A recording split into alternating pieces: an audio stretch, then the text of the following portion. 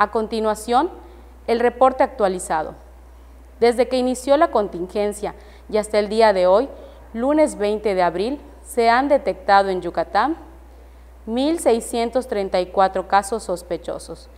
574 son de vigilancia centinela, de los cuales 199 casos han dado positivo. De los casos confirmados, 14 han fallecido, dos de ellos extranjeros.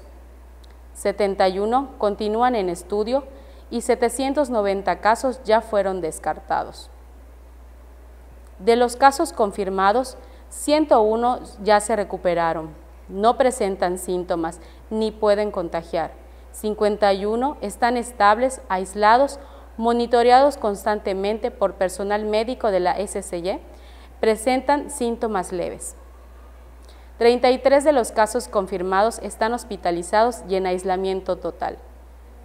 La paciente yucateca contagiada y diagnosticada en Canadá continúa hospitalizada.